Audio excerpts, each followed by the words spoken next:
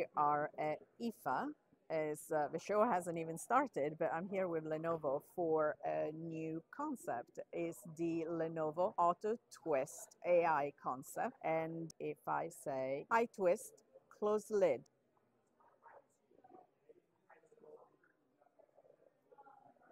high twist, open lid.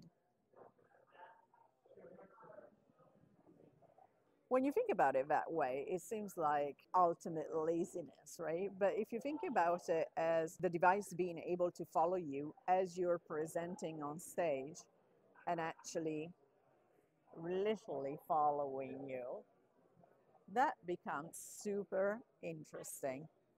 And obviously, the technology that goes into